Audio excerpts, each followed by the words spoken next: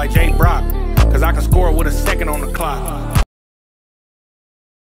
What's good, y'all? Your boy Jay Brock is clapping up LA. You know what I'm saying? And I'm right here with the homie Gudda Brvckin. And ladies and gentlemen, he wants to do ratchet stuff and contribute to the streets. He is an artist who can rap and sing, mix and master his own music, and shoot his own video straight off of McKinley Avenue. Shout out to producer Papa. Many of you have heard his famous tag, Papa Got Beats Making History. And if you didn't know, I must inform you, that was a 14-year-old Gudda Brvckin. And listen, and listen here. He is starting off 2023 off strong with Push a Ride. And ooh, if you didn't know, it's about time that you gonna run up his latest single right now, streaming on all platforms. Gudda Brvckin, how you doing today, bro? What's happening, nigga? Chilling. Don't don't leave me hanging, dog. Oh, I didn't even I didn't even see him trying to take my hand. okay, okay, man. It's a pleasure to be chopping game with you today, bro. Um, starting 2023 off strong, you are also a father of one year, bro. Speak on how fatherhood has affected your life, or of course, it's affected your life. Speak on fatherhood, bro. Uh, shit. Fatherhood really ain't affect my life. It taught me though. It taught me a lot of shit. It taught me how to maintain time. It taught me how to maintain my energy and how to sacrifice sacrifice a lot of time because it's like I'm a straight nigga for sure. That shit ain't never going nowhere. But it's like I had a daughter, so it's like I gotta take care of my daughter. I don't want to be out of my daughter's life. That's right. It's like I gotta move how I gotta move. I gotta move militant and, and very smart because it's like shit can happen in a 2nd mm-hmm. Shit can happen in a minute. So it's mm-hmm. like I gotta move different. I can't move the same like I was when I was a young nigga. Mm-hmm. I'm big dog now. I feel that. I feel that. Yeah, fatherhood typically will do that for a lot of people, and it, and it just it just makes you like you said, it makes you want to go home every night. You got oh, something to go home to. You know what I'm saying? For sure. So, what are some of the things because you're a you're a father of a daughter? What are some of the things you want to instill in your daughter in order for her to, you know, what I'm saying, understand and learn as she get older? Like Nipsey Hussle, shout out to Nipsey Hussle. He said he would tell his daughter every day that she was a leader. You know, what are some of the things you want to instill in your daughter as she gets older? For sure, be a leader. Be be your own boss. Don't let nobody tell you you can't be yourself because mm-hmm. that's like that's like failing right there. That's like going for Plan B when you already got a Plan A. You can't mm-hmm. go for Plan B. If you go for Plan B, that means you already failed your Plan A. Mm-hmm. So it's like be your own boss at all times. Don't let nobody tell you you can't be you. For sure. That's a fact. That's a big one. And that's great for anybody in life. Be you. Don't never allow anybody to make you feel like you can't be you. That comes with confidence. That comes with security. And so many times in life, we talk to people and they tear down our security. That's why they say you can't tell everybody your plans and your dreams.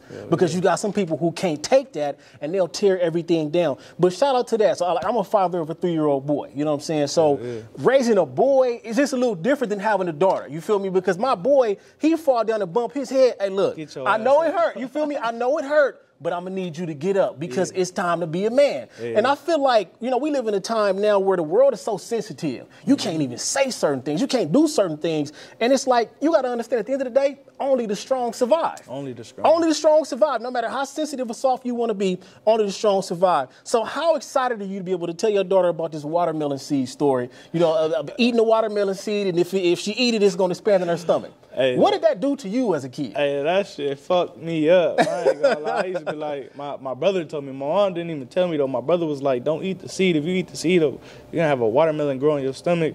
I'm like, what? I ate a seed. I, I had to figure it out. I'm like, ain't no damn watermelon finna grow in my stomach, but it's gonna be hilarious telling my Yeah. daughter that because I already told my little brother that. Yeah. I got little brothers too, so it's like Yeah.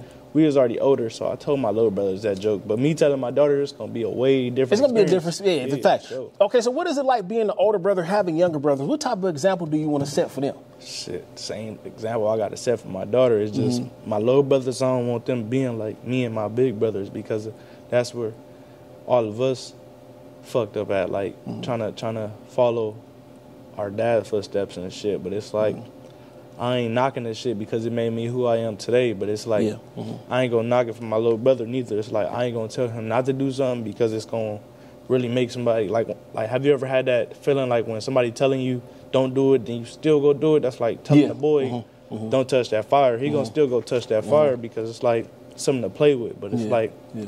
I'm trying to get my little brothers out of it while I can. Yeah, that's right. Well, they say experience is the best teacher, and that's one thing about parenthood too. Like, no matter how much you try to warn your kids about stuff, we didn't do stuff our parents told us not to do. Hell yeah, that's why I used over and over again. whooped. Exactly, we didn't do stuff our parents told us not to do. But I think I think what what, what comes in it is the conscience that they raise us with. Hell yeah. Most of us we got we got this conscience, but we just not gonna do that. Yeah, like so. but, but now like this is like a different generation now. So it's Yeah. like my mom is like different with her newer kids than with her her nineties babies. Oh yeah, come on, Like, man, sure, come like, on. We done all seen that. She like a little Yeah. more softer with her kids, so it's Yeah. like I used to get in trouble like Get your ass whooped every yeah, time. Yeah, my little brothers they get away with so much shit, so Oh, it's man. like I gotta be on them now. Yeah. it's a, it's a different story now, Yeah, so it's like I can't let them get away with what I got away with. I relate because I seen my little brothers and sisters get away with stuff that I could never dare. I couldn't even think about it. Hell You know what I'm saying? Moms would be on my ass quick. you know what I'm saying? On my every time. I'm talking about every time I messed up, I'm getting a whooping about it. Hell they yeah. or they can talk back, do all they want to. She she got to get them when they got strength. But shout out to that. And also, I think that our parenting, our generation of parenting, is just going to be different um, than than theirs Mm-hmm. because we're a little less lenient because we don't we don't want all the whoopings. You know what I'm saying? We know the whoopings hurt us. Hurt us. Yeah, fact. So it's kind of like sometimes let's just talk. Yeah. And there's nothing wrong with that, man. So you grew Sometimes up. that's a better outcome though. Yeah, it is. It is. discipline, whooping your kids and shit. Yeah. Sometimes it make them like a little tougher, but it make them want to go. Rebellious. Yeah, and it's like it make you you're the cooler. I, I, I did this. Yeah. Nigga, you can't tell me nothing. I did this. So Yeah. It's like when you get your ass whooped, you go tell your homies, yeah, nigga, I got my ass whooped in. You feel me? But people didn't have that situation when you had to go really go sit up and talk with your mom and your dad, like Yeah, yeah, just straight to the ass whooping. yeah, yeah. You know, my mom. Sometimes my mom would talk to me though. Yeah. But it got to a point like I ain't really listen to that. you know what? My mom always told me, I don't care how many friends you go get in trouble with, you gonna get your butt whooped. yeah, for sure. On the real, accountability. Hell yeah. You know what I'm saying? So shout out to that, man. Now, I know you grew up with this Biggie influence, of course, Snoop Dogg. Now, you consider Biggie the king of ratchet. Now, we all know Biggie, a smooth going guy. But what makes you feel he's the king of ratchet? Tell us that. Got a bitch suck my dick till I nut, Uh. spit it on my gut and stir that shit back up. Ain't that a slut? Okay. Like, like Straight like that. Yeah, like that. That shit was like ratchet. Me growing up though, like when I heard that song, I'm like, damn, that shit ratchet as hell. And then like, YG came out. Yeah. YG came out. All you ladies pop yo pussy Like like, this. Met her at the club. Yeah. Yeah. what's up? All Yeah. that and bullshit. Yeah. Like that shit was all Yeah. ratchet like a motherfucker. So it was like I didn't really I jumped into that music, but I didn't because it was like I liked the the, the beats around it, but it was like I felt like I could put pain behind that beat. Yeah, yeah, for sure, So it was for like sure. I love the ratchet shit. That's my number one go to. When I'm by myself, I'm in the club, I'm in the car. Yeah. Yeah, bitch, yeah, bitch, Yeah. yeah. Now it's like, yeah, bitch, yeah, bitch, yeah. So it's like I like ratchet music, but I don't prefer ratchet music for myself. I like Right. for people to hear about me. Yeah. I like for people to see what we had to go through. I like for people to see that it ain't always like sunny out here in LA. I like for people to see that it's fucking dangerous as hell, but it's like still fun to be here sometimes. Yeah, yeah, yeah. Yeah. It's like it ain't safe. It ain't a place to play though. It ain't a place to play with your life with. Yeah. For sure. Now, another pain. Now, I know you have this influence with Lil Durk, right? Yeah. Lil Durk speaks a lot about his pain. yeah. Now, you know, in this time and day and age where we have so many people who want to seem invincible, Mm-hmm. it seems like they ain't never affected. You feel me? Explain what what talking about your pain has done for your fans and the people who've listened to you. Yeah, my, my pain made a lot of people come from like I didn't even work with artists like that's because I've been doing music for a minute now, but it's like I didn't work with younger artists like that. I ain't even that big yet, but I didn't work with younger artists like bro. I look up to you. You're inspiration to me. Like you made me come out of the closet, not like on no that type of shit, but you made me come out of the closet like from being scared to say I used to get my ass whooped. Man, I used to be scared to say my homies dying. I used to be scared to say I went to jail and all mm. this type of shit. I made a lot of artists come out of that box. I made a mm. lot of artists really want to come from the east side. A mm. lot of artists wasn't rapping about the east side until we started doing that shit. So it was like, you know what it is. Now I know that you you say that you you y'all are the first people to really push the McKinley Ave line Yeah, um, sure. the way that y'all did. Now I want you to speak on this because when you are the first to do anything, First bracket. when you okay yeah first bracket like you said when you are the first to do anything Yeah. it's it's it's some scrutiny that come with that it's some it take a lot of heart you got to do what people got to say what are some of the things that you had to deal with knowing that we're gonna push McKinley like nobody else ever did Uh, shit. basically my homies. I'm from the east side. I'm from Swans, but it's like Yeah. I got homies that's from San Pedro. I got homies that's from town. I got homies that's from Bentro. I got homies that's from Maine. Mhm. And it's like all them pushed that block, but it was like we had McKinley, we had Wadsworth, and everybody skipped over those. But it was like that's the block I grew up on. That's where my mama raised me at. So it was like I seen niggas die on that block. I done got arrested on that block. Yeah. I done got chased by the police on that block. I done mm-hmm. got shot at on that block. So it mm-hmm. was like that's me. Mm-hmm. That's where I really was raised at. Even though my my my block ain't even on that block, that's my block. So it was like I had to stand for that shit. Me and my cousin had to stand for that shit. And even though like me and my cousin ain't even speaking right now, it's like we still stand on that shit. When it comes to it, we gonna stand on that shit together. Gang. That's right. You got a sense of pride about it. Um, now, I mean, what are some what are some memories on McKinley Ave? Give us some good memories, bro. Like some things that you know. You know, you got the ice cream truck memories. You got the icy lady, the candy lady memories. Give us some of those memories. Oh yeah, ice cream truck for sure. One, I I got my first BB gun from the ice cream. the ice cream truck yeah. with the My BB My gun. mama was like, "Don't go buy that shit." I went Yeah. and bought that. Five dollars. It, it jammed on me a few times, but Yeah. we was in the backyard playing. Me and my cousin, we was in the backyard playing with BB guns, and I sh- I just happened to shoot the BB gun like random, and it went in his nose and got stuck. Ooh. it didn't bleed or nothing. Ooh. It was like the little, the little, not the real pellets. It was like the little BBs. Yeah, the BB. Okay, the plastic little- BBs. Yeah, so it got stuck in his nose, and he blew it out with his nose. I started dying. I ain't never seen no shit like that Yeah, in that's my life. that's different. Yeah, that's that was different. funny. And then like me and my brothers, we used to be like walking around. It used to be dogs on our block, so it was like it was this corner house with a lot of dogs, and we would open the gate and break from the dogs. oh man. I uh, I remember one day I was like, me and my cousin we was little, like 10, 11, 12 over there. And my brother's already in high school playing football, so they leaving us down the block, and Mm-hmm. the dogs got on our ass. We had to hop in the back of a truck, and this this truck scene just reminded me of Smokey on Friday when he was laying in the Oh back. yeah. Mean back there about to shit on yeah, himself. Man, they had to call their dogs out Yeah. the yard and shit. That shit was hilarious. See, that's different. Now you hear, you hear about ding dong ditch, Yeah. but not ding dong dog. You know what I'm saying? Y'all playing. shit- yeah, we was different. We was bad as hell. Yeah. Like, we wasn't. Ding Dong Dish was some bud. Like that was. that was lightweight. Yeah, that was lightweight. We was doing that at like five and six. We was Yeah. doing that, but as we got older, we was already like roaming the streets and shit. It was like my mom was watching us though, but Yeah. I ain't even gonna say it like she wasn't watching us. But it was like my brothers was older, so when it was time for her to go go to work and shit, yeah. we was outside. I mean, yeah, that's what I'm saying. Like as a parent, you won't be able to catch everything your child Mm-hmm. gonna do. You feel what I'm saying? But okay, so childhood, uh, Pomona Steelers. How long did you play for the Pomona Steelers? Not that long. Not like, that long. Yeah, like two years. Yeah, okay. Well, shout out to the Snoop League. I played for the Demos, played against the Pomona Steelers. Only Snoop's team was really good. Like everybody else was kind Hey, of it wasn't even that good. We was just Oh, okay. Hey, hey, it is. Pay the reps. Oh man. They know what it was. Oh no, he said pay the rent. Ooh, that's not good. They You knew went- it that's not good. You weren't supposed to say that. I played for the Compton Titans too. When Okay, you played for Compton. Before it was uh, the Compton Vikings, I played Yeah. for the Compton Titans too. But I played like they flag league. I was like little as hell. Oh, okay, yeah. See, I played against Compton Vikings. It was Not the Vikings, the Titans. Yeah, the, Yeah, yeah. The, the, that, the it was the. Ti- Do you know Coach yeah. Wadu? Yeah. Okay, cool. Yeah, Yeah, shout out to Uncle cool, Wadu, yeah. man. Shout out to Uncle Wadu. Yeah, I actually played on the Snoop Dogg All Star team. We was practicing Hell at. Compton High. You feel me? Went to Miami, man. That whole situation was crazy. But shout out to that, man. So speaking of your big brother, you would start rapping at 13 years old. You said your brother used to write songs every day, right? Yeah, my brother Gunner, Mm-hmm. he still writes songs. He out. Uh, he out of jail now, but uh, he about to go sit down and do some more time. But uh, Mm-hmm. he was like a heavily influence on me, like Mm-hmm. a big ass influence on me. No cap. It was like I see him. We, he was doing jerking music though. He was like, boom. Every day I'm like, how the fuck is he doing this? I'm trying to write and shit ain't rhyming or nothing. I'm like just writing just to write, write shit down. Then uh, he went he went to jail. And when he went to jail, it was like he left his notebook at home with me.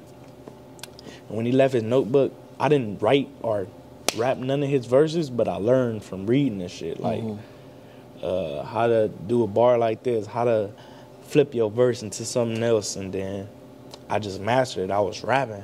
I wasn't singing. I was really rapping. And then It was like Blueface at first, right? Nah, hell Okay. no. It was like it was like Gudda Brvckin. Oh, okay. For sure. For sure. To burn. Yeah. But uh no disrespect to Blueface, great artist. Um, yeah, no, he just him. That's it. We, we respect that. But uh Yeah, I was like a young nigga. I didn't really know what I was doing, but I was doing my thing because I was a young nigga. It was like a young nigga movement at the time, for sure. Like like back in the top notch days and the underrated. A lot of people didn't know. Yeah, see, that's the that. jerking days. Yeah, yeah. It wasn't the jerking days. It was Was it? 2013. Young Sam was the jerking days. Okay, for Yeah. sure, for sure. See, there was a discussion about the jerking days. How long was that era? It was like 2006 through like 2000. 2010. Yeah, 2010, 2009. 11. Yeah, somebody told me I was wrong about that. Yeah. But for sure, shout out to that. Now, um, when you now you getting in this book, Yeah. okay, sparked your interest. When was the first time you actually like stepped in a booth and heard like when you heard yourself first record? W- were you immediately satisfied, or were you kind of like, I don't really know how to feel? I was satisfied like a motherfucker. I ain't Yeah. gonna lie. Even though it didn't even sound that good, it was like hearing myself. I was like, I knew I could do this shit. I knew Yeah. it. Yeah. Knew it. And Yeah. like a few years down later, I heard, down the drain, I heard this shit. I'm like, the fuck this shit trash. It's usually this. like that though. yeah, I was doing this, but I was comparing it and comparing it and see how I really transformed on me Mm-hmm. as an artist. Became great. How much have you been able to be proud of yourself and how far you've came? Because you're in a situation where it's only up. You feel what I'm saying? Two years. So how so so how long have you like you looked at your like years. two years, and you look back at yourself and say I'm proud. Yeah, two years. That's the goal. For sure. Two That's years. I've been proud of myself just Yeah. Mm-hmm. to seeing how hard I've been working. Like a lot of people didn't see what I had. I started rapping on house arrest. I started engineering on house arrest. A lot Mm-hmm. of people wasn't coming to see me. My brothers was in jail, Mm-hmm. so it was like I was the big brothers to everybody because I ain't had no big brothers. My big brothers was in jail, so it was like Mm. they was calling me, asking me for shit. So it was, I felt like the big brother, but I was on house arrest, engineering on house arrest, recording myself, trying to figure this shit out. And then once I figured it out, it was like everybody, my brothers came home, so it was like they didn't really see the process. They like, oh, he learned this from me. Mm-hmm. I learned it from y'all. I didn't learn how to mix from y'all. I, I didn't learn how to rap from y'all, but mm-hmm. it was like I studied from y'all. It's mm-hmm. like That's right. That's right. They left. They left the footprints. Like they say, success sure. always leaves footprints. Yeah, so sure. um, when you get into mixing and mastering, because that's something that not a lot of people do. You feel what I'm saying? Yeah. Uh, speak on the the screw up stuff that you've had. You know what I'm saying? How many songs have you had to had to trash because you just did a bad job on mixing and mastering it? a lot. I like that he said that. I recorded in my life. I recorded over ten thousand songs. Like no cap. Ten thousand hours, y'all. Come on now. Yeah, no cap. Like over ten thousand songs, and I threw away about eight thousand of them. Yeah. And still got like a few of them in the vault. I never put them out, but it's like I go off quality. I go off catchiness, mm-hmm. and it's like sometimes you gotta be lyrical, sometimes you don't. Mm-hmm. It's like sometimes you still gotta have fun with the shit. Don't make people like get too involved or have to go pick up a dictionary on some what that word means. Right, Because yeah. a lot of people really ain't get to go to school and shit like that. A lot of people ain't really pay attention in school. So Mm-hmm. it's like, well, I do all this. I'm from the streets. I'm from LA. I need LA to hear me before I need all these other motherfuckers to hear me. Mm-hmm. Well, like they say, if your city don't feel you, then it's difficult for you to make it out. You know, but then again, it's like a didn't seen people move out the city and make it out though. Yeah, So that's true. That's what, that's what I'm saying. It's kind of like a fine line. Why do you think that's the case, though? Like, why is it some people can make it in the city and some people can't make it? Why do you think that is? Cause some people be false and some people don't. Ah, so it's kind of easier to paint a different picture if you go somewhere else. Hell yeah. Okay, Easy. okay. I understand that. I understand that. I never actually processed that way, but I'm glad that you said that Yeah, a that lot of people ain't Yeah. got that push behind them. Yeah, yeah. What type of push would, did you have behind you to help you be this? I had the hood behind me, no cap. The hood love me right now. The, I'm starting my hood. yeah. uh, I had the motivation, I had the knowledge, and I had a growing process of watching how everybody did, how they moved. Like mm-hmm. how Lil Durk moved when he was in Chicago. He mm-hmm. moved alone, and he moved like he moved with his homies, but he moved alone. He did what he had to do for his homies, but at the end of the day, he still moved alone. Mm-hmm. YG, he he had a lot of homies around him, but he still went in his direction that he wanted to go to. He didn't let nobody else tell him what to do. Me, I went in my di- direction how I wanted to do, kept the gang around, and moved how I wanted to move, and it was like very militant mm-hmm. gang. So it was like So I'm still here. I ain't never been shot. Never been. Pray to God that you never Yeah, have to go to through God. that. Yeah, shot, knock on. And then also, how thankful are you for the moment when you were on house arrest? Because sometimes we go through situations, right? And like they say, things don't happen to you; But- they happen for you. Yeah, so, how sure. thankful are you for that moment on house arrest? Making sure that you locked in because you were also homeschooled as well, right? Yeah. Making sure that you locked in in those periods and times. Um, I'm big thankful for it, but I'm not thankful for it because it was like when when I was releasing music at a young age, I wasn't.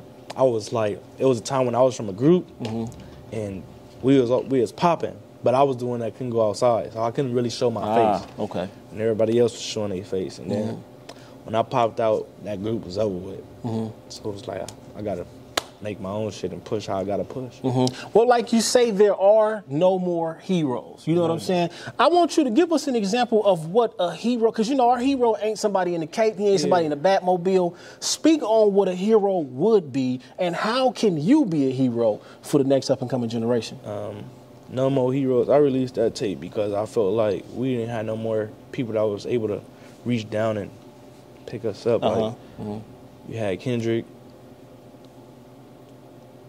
we had YG, Mm-hmm. we had Ice Cube, we had Dre. Mm-hmm. But it's like the newer era artists of LA ain't really coming back and Trying to do the same yeah, thing. they like they like trying to move out and get bracking with everybody else before they even get bracking with their own city. I feel like that's fucked up, but it's like that's gonna that's gonna fuck it up for us. So it's like how the Bay move, they all move together. Like if you look at the Bay, you got Forty Water that's still tapping in with everybody. Facts, facts, reaching back for sure. Yeah, for sure. So, so, so, what's what's on your outlook? How can LA change that? How can because really we all know LA is By in stop, its own way. By stop being scared to talk to talk to people because I don't give a damn where you from. If we making money, if we doing what we got to do to put on for our city, we boo. Mm-hmm. It's like it's like YG was a blood, Nipsey was a crip, Yep. and it was like when it, when it came to music, they was like this. When it came to street shit, they was like this. They ain't let mm-hmm. none of that shit get between them, and that was like a big ass eye to me. Mm-hmm. I seen my eyes like get like this when I seen that shit. Like I mm-hmm. seen my own eyes. Like so, it's like they could do it, I could do it. But it's like boundaries to the shit too. That's where it fucks us up at, cause it's like we done lost homies to this shit. Yeah, But it's yeah. like we got other artists that's cracking. Then we got other artists that's cracking. Then we got other artists that's cracking. And it's like we got artists that's bracking, bracking, bracking. You got bragging and cracking. it's like Yeah. niggas be scared to do this together. So it's like it's Yeah. cool, but it's like Yeah. y'all niggas want to make money. That's what y'all got to do. You gotta let the streets get out the way of it. And it's like we Yeah. they got older we got older homies to tell us not to do that shit. No Mm-hmm. cap. But it's like your older homies be the main niggas in your ear. Oh, when you get this, this and that, and that, Mm-hmm. y'all still gonna look out for us, right? Y'all like coaching us to do shit that y'all ain't really even on no more. Mm-hmm. So it's like, how y'all gonna tell somebody to do shit and y'all ain't even on that type of time no more? Mm-hmm. We really out here getting to it. They out here doing all type of shit. So it's like, you gotta do what you gotta do. You gotta do it, but it's like when you wanna win, you gotta you gotta step on a different stair. That's a you fact. Mm-hmm. gotta you gotta step up that ladder. For sure, you can't be on the same page as ten years ago, twenty years ago. This is a whole new era. It's evolution. Hell yeah. It's evolution. You know, at some point you have to choose to grow. You have to choose to want to do better and choose to make a decision. When everybody yeah. going this way, sometimes you, You gotta, gotta go go that way. way. That's a fact, and that's how you become a leader. So when you speak, okay, let's let's talk about this. What is a leader to you? You know, I'm saying how how, how was Gudda Brvckin a leader? Uh, shit. The leader in me is you. Being a leader is you gotta motivate. You gotta. You can't always be the front guy. Mm. Even when you're a leader, you you got if you're working with people in the group, you can't always be the front guy. Even though you know you're the The guy. yeah the Yeah. guy, you can't. all You gotta let them shine too. Mm-hmm. It's like when I drop, I like to drop alone. So when everybody else got to drop, they got their own time to shine. I don't mm-hmm. like dropping on top of people. Mm-hmm. I ain't gonna lie, but it's like people gotta understand though. Everything ain't evolved around you. Yeah, facts, facts, facts. You Yeah. gotta be evolved around everybody. So it's mm-hmm, like mm-hmm. when it's showtime, it's showtime, man. I feel like If anybody in my section was bigger than me right now, mm-hmm. I ain't gonna knock them. I ain't gonna do nothing. I'm gonna do nothing. I'm gonna support it for sure. I'm gonna support it. But it's like, I'm not gonna knock it. That's some haters. Yeah, you don't knock it. You don't knock it. One thing, That's some haters. yeah, one one thing about being a leader that I understand is that people may not see is that being a leader means that you're gonna take that loss Yeah. and you're gonna keep going Yeah, and you're gonna deal with the loss. Sometimes though, like shit don't even be losses. People Lessons, just yeah. yeah. people just see it as a loss, and it's like I It's take them as lesson. lessons. Yeah, it's a lesson. It's a lesson. Yeah, for sure. But uh, you know, okay, well, we can talk about that as a lesson, right? Those lessons are important because it may come in a, it may come in a form of failure. Yeah. It may come in a point in, in a form of a mistake that you made to where you couldn't capitalize. Mm-hmm. It is a lesson, but it like you said, it's all about perspective. For sure. It's all about perspective. You got to put your perspective on there. Now, um, now here's the thing with this, right?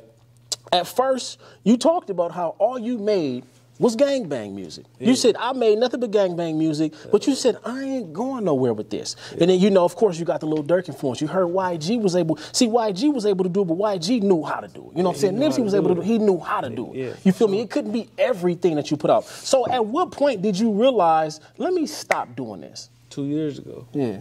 I uh I released Bragging 5 Mm-hmm. two years ago, maybe three now. It's 2023, so Mm-hmm. three years ago, I released Bragging Five, and it was like I dropped a song on there that had me rapping and me doing melodic shit, Mm-hmm. and people was like asking me personally, like, why you don't sing? You know how to do it, and you know how to rap. Why you don't put it together? I laughed at that shit and was like, nah, I ain't gonna do that shit. That shit like kind of boring to me. And then it was a point in life where I heard this beat, and I was in there like in my my mama my mama living room with my mic. I, I got all the studio equipment I need, but I don't use it no more. But I'm in my mic. I'm like, catch him at the light. This ain't no stick up. Catch an eye flipping. Fuck that. He getting hit up. Mm. I'm like, damn, that shit cold. Different. And then I heard it on a beat. I, I turned a little bit of auto tune on and heard that. I'm like, oh yeah, this shit fire. I tried it out. The song came out fire. It became my biggest song in less than a month. It passed up all my other songs that I had out for five years plus. It passed all that shit up in a month. Found it. Yeah.